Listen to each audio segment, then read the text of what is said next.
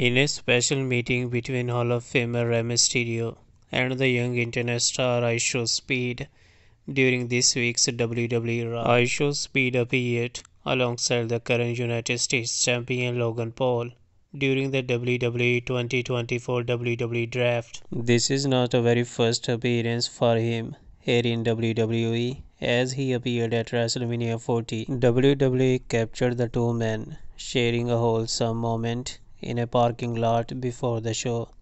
So he just greeted Rey Mysterio with his theme song, the first line, and the Hall of Famer gifted the young internet star his iconic mask. It was an honor for IShowSpeed to appearing on WWE Raw